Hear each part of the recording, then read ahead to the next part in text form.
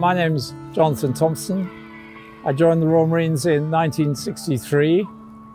Uh, I retired in 1998.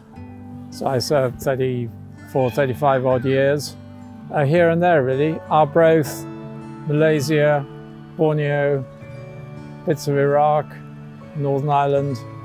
I mean, in lots of different places really. Well, I emerged from my years of service without scratch.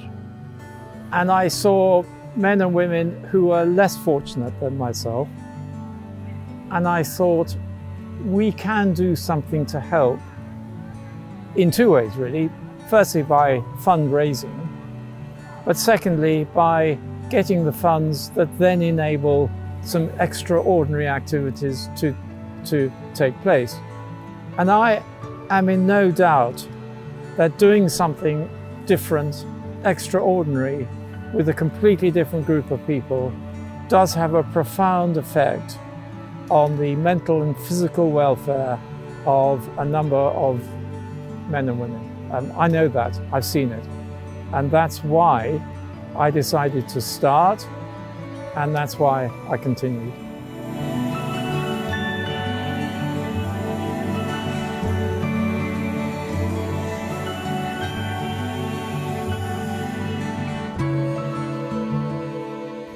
Uh, our first expedition was what's called uh, the Raid, which is a definition for a cycle ride uh, east to west or, or west to east um, along the Pyrenees.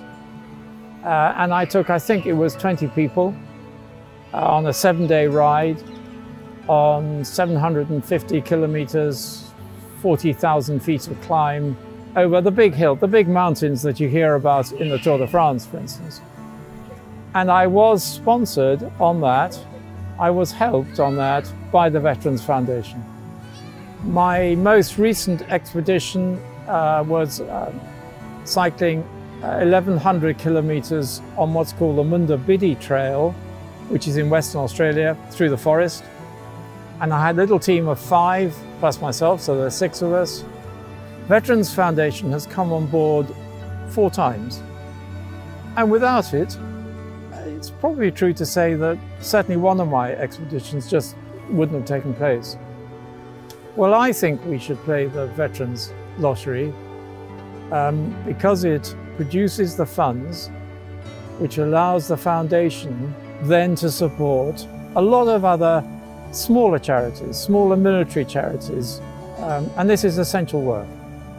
If you would like to help British veterans in need, play the Veterans Lottery.